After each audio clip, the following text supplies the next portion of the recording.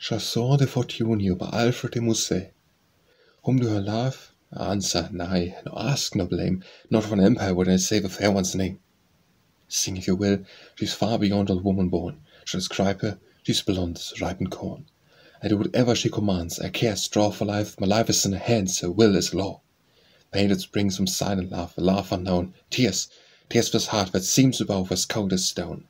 But much, too much I love to say who lights my flame, I'd rather die and pass away than breathe her name.